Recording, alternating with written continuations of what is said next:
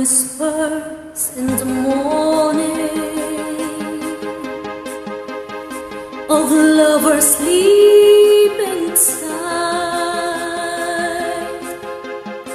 are rolling by like thunder now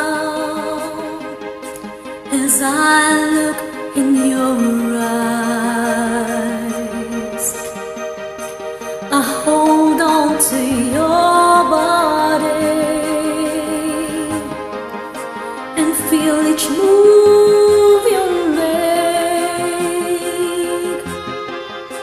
Your voice is warm and tender.